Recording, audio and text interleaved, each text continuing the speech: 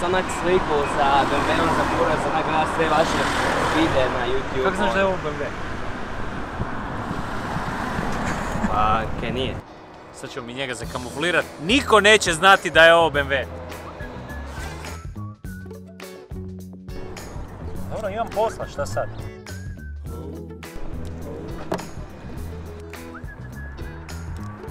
E, sad se ne vidi.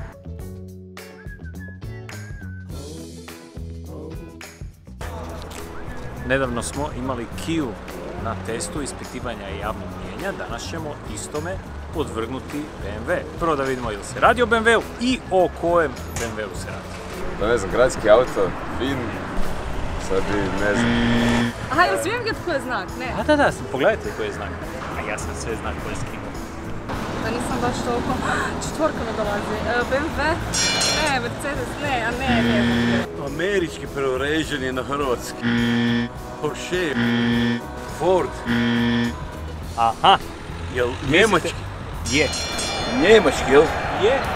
Pa meni to izgleda kao onaj Chrysler engleski.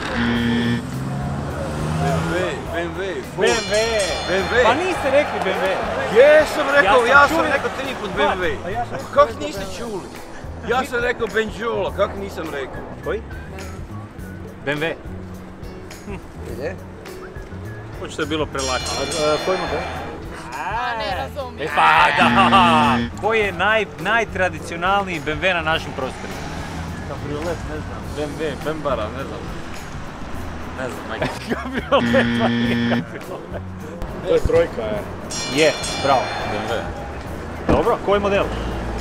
Nova trojka. Svaka čast. Evo, čestitam svaka čast. Evo, ovo je bilo prelagano, jednostavno, prelagano. Jesam pogodio da je M3? Po meni ništa. Ajde malo probam.